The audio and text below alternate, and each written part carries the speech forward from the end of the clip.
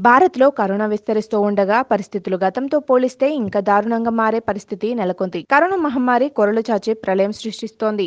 ఈ క్రమంలో దేశంలో కరోనా వైరస్ను కట్టడి చేయాలంటే థియేటర్లు ఆడిటోరియాలు మూసివేయాల్సిందే అంటూ ప్రముఖ అంతర్జాతీయ వైద్య పత్రిక లాన్సెట్ కోవిడ్ నైన్టీన్ కమిషన్ ఇండియాలో నియమించిన టాస్క్ ఫోర్స్ సూచించింది.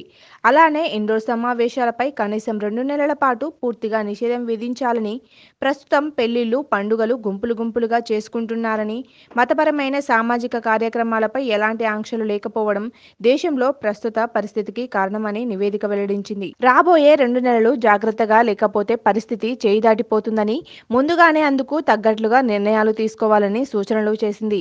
లాక్డౌన్లో తీసుకున్నట్లుగా కఠిన చర్యలు అమలు చేస్తేనే పరిస్థితి అదుపులో ఉంటుందని హెచ్చరించింది. పది మంది గుమ్మికూడకుండా రెండు నెలల పాటు నిషేధం విధించాలని లక్షల్లో కేసులు నమోదవుతున్న జనాలు విచ్చలవిడిగా బయట తిరుగుతున్నారని టెస్టింగ్ ట్రాకింగ్ టెస్టింగ్ విధానాన్ని సమర్థంగా కొనసాగిస్తేనే పరిస్థితి అదుపులోకి వస్తుందని నివేదిక చెబుతోంది. నమ్మకమైన మీ ఆర్థిక నేస్తం భవితశ్రీ చిట్ ఫండ్స్. భవితశ్రీ చిట్స్తో శ్రీకారం బంగారు భవిష్యత్తుకు సాకారం.